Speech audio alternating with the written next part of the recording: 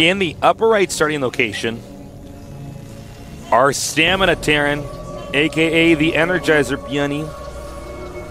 I love that nickname, Artosis, that you gave him. You're welcome. The next pound. Not the best pound in the world. No, not the best fist pound. I'm actually pretty good at fist pounds. I don't really do the fist pound that much. No, no, you don't. You're not a fist pounder. I bump chests. I, I butt heads like a ram, vying for a mate. In the bottom right, our Protoss player from the same team as Byun. He is 10x puzzle. They should have made more complicated pieces, put them together. Mm-hmm. That's what I would have done. Are you good at Rubik's Cubes, Artosis? No, I'm, I'm quite terrible, but uh, actually my older brother has a theorem named after him. There's a Stemkoski theorem of Rubik's Cube. Really? Something having to do with Rubik's Cubes. Yeah, he's a he's a doctor of mathematics. Damn. Yeah. That's pretty sick. Yeah, I always sucked at uh, Rubik's Cubes. You know. He's But I'm about gonna- as good as you can get. I'm gonna just figure there's some guide you can get on the internet and just tell you what to do for certain patterns. Then I'm gonna have Yeah. I'm gonna be amazingly good at this useless skill. Oh yeah, yeah. Uh, if you actually want to learn that Tasis, I'll hook you up with my brother, man. He he knows right, every Rubik's let's Cube size and all their algorithms. no, actually, I'm, I'm gonna take back what I said. Is people think that having a Rubik's cube solving skill is useless, but in fact, I'm gonna bring that Rubik's cube to the club, Artosis. Oh yeah. I'm gonna solve that in front of the ladies, get laid. That's what I'm gonna be doing. I Artosis. believe that too, man. That is Me and my wingman Rubik's cube. You just like it's all messed up, and everyone's looking at. it, They're like, no, no, and then you just twist it up real quick and finish it, and you're like, eh, and you throw it over your shoulder on the ground as if it wasn't anything to you. Exactly. That's how you do it. That's how you do it. That's a sick, good build order. Yeah, it really is. All right, the probe is now getting inside, and he sees the reactor. He also Uh, sees a second barracks. And That's actually a lot of information. I don't know if the strategy is one that's supposed to work if the Protoss scouts it. Well, you know, it, it's pretty solid. It'll, you'll be pretty much safe against everything, but how will he react to it? Because obviously you're going to have to make more units. Uh, most likely your opponent won't cancel it. He might go for like a quicker Nexus or a third barracks because you saw the two barracks, and normally two barracks is just a pressure build into expand. But uh, what will he do here? One of my favorite things to do against it. Now he, hold on one second. He showed the tech lab. Is he going to cancel it? No, I don't think No. he'll All right. cancel it. It's always a chance. Yeah. Always the chance to do something tricky. It's oftentimes quite Be a sneaky snake. Yeah. Now, uh, there's a lot of different things that you can do against this. You can go, you know, three gate. You can go four gate. You can get a quick robo and get out an immortal to help out.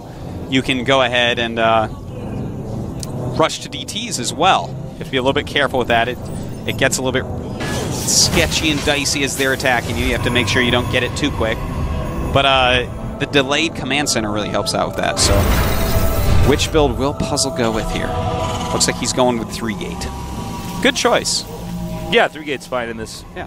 situation. You know, three gate is like a four gate that's economical. It's not all in. Well, the thing about the three gate is that it's safe, Yes. especially against the guy who's gone two barracks. It's safe against almost everything. You're basically matching your opponent's uh, army. Yeah. Well, Now, the uh, stalker being driven out right now.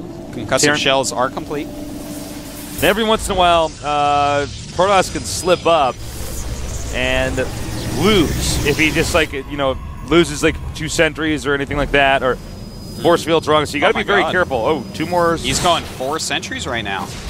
It's really cool. Shows a lot of confidence in his force fielding. yeah, no kidding. We've seen, you know, another Protoss that we see do things like that is Younghua. These guys are just so confident with their force fields. They're like, no, I can just get sentries and live through this. Because if, and here's here's why it's risky, guys. If you miss your force fields at all, and they kill those sentries off, you're way behind. Way, Yeah. way. That's 400 gas he spent. Now 600 gas he spent on sentries. That- and losing that, you're going to have to remake them, or you're going to have a much weaker army. And that's that'll cost you tech time. That'll cost you upgrades because gas is a hard resource to get. So shows a lot of confidence to It's, play it's like actually this. exactly why whenever we see these games, or actually just a tip for you guys when you're laddering, um, if you get in a little skirmish and let's say the Protoss is running away and you know the Marauders uh, can pick off a certain number of units, shoot down the sentries. Oh, absolutely. Get the sentries. Sentries are almost always what you want to kill. Not always, but almost always. And pressure coming up. I don't think it'll do too too much here. Well, he is making another pylon there, so he might actually be trying to go for a bus. Is he pulling a chrono Mm, boost? Oh my God! Yeah. Yeah, it looks like he is. And beautiful force fields there. Definitely going to break through this bunker, Tasteless, and this is going to be pretty hard to hold for now. Deal, definitely dealing a lot of damage, and I'm actually surprised. I just looked over. He did not start Stim. So he is not going to have Stim anytime soon. And without Stim, you're going to have a hard time as long as he has force field energy. Which he doesn't have a whole lot of still. Yeah, not a ton. Uh, he is chrono boosting his gateways back at home. He did not ever end up transferring probes uh, to his Nexus. And as I say that, he just now got the probes there, but the attack is going to continue. Now, he doesn't have a ton of force fields left over, so he's got to be careful. Mm-hmm. Deadly dance for both players here. It's really important to note that actually uh, he doesn't know that um, Byun doesn't have Stim either. He might be expecting uh, Byun to have Stim anytime soon, just hasn't uh, pulled the trigger yet. Well, I love this. Look at him picking off that bunker. Nice. Very nice moves, but those force fields maybe not the absolute best. Zealot's really being quite useless here as uh, anything other than uh, soaking up some damage. Very nice control Yeah, here. He actually might it. just bust through here. I don't think he can be stopped at this point in time. Wow, yeah, you're right, Tasteless. Yun is in trouble. He doesn't think this is any fun. Well, um, wow, Byun is going to be uh, in an almost impossible to recover from situation right now. SCV's being taken out. Now, uh, Protoss may have overstepped himself a little bit here, but don't forget he can keep on warping in units. Well, at this point, it doesn't even really matter. Even if he loses all these units, he is so far ahead. We have 14 SCVs against 40 probes. He could actually bring his probes over and finish off Yun. And GG Byun playing a little bit too risky there. Sat there with one bunker, no stim upgrade. And, well, Puzzle rolls him over for it. And Byun, surprisingly, after finishing top four and buying a cute puppy, he is now going to the up and down matches. I cannot believe it. This always happens every season. There's always There's always great players that do this. Unbelievably good player, such as Byun, that Yeah, now man. has to just uh, Well, go into the up and down matches. He's joining MC in the up and down. He's joining Yeah. Alicia in the up and down. These are some great players. Code S is ridiculously unforgiving.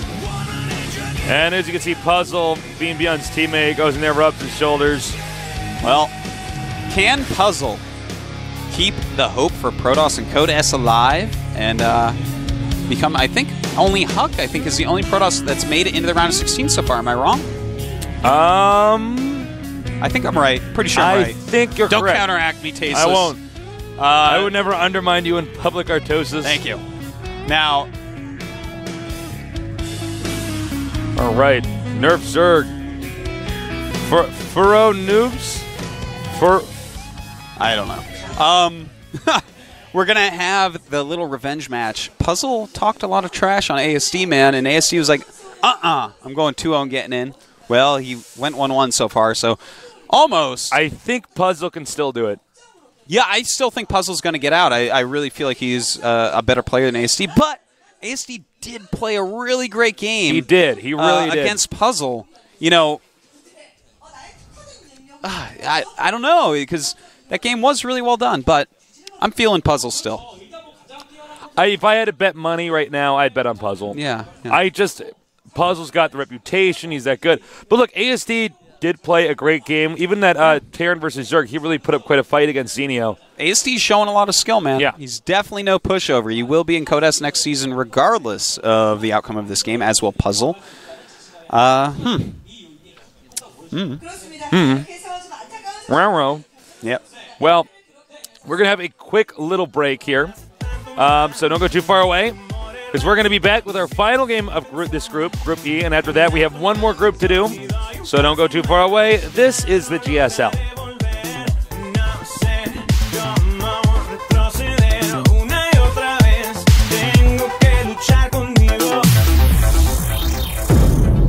Vivo en peligro.